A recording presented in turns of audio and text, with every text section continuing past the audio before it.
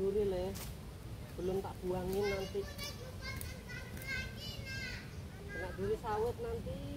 Aduh. Di depan mainan di depan. Nanti kena duri sawit. Nanti kena duri sawit kita yang dimarah